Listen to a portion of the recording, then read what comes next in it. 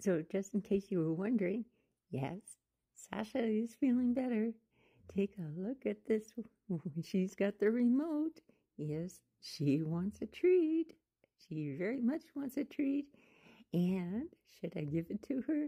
Should I reward her for stealing the remote? The Fire Stick remote that I just replaced a couple weeks ago?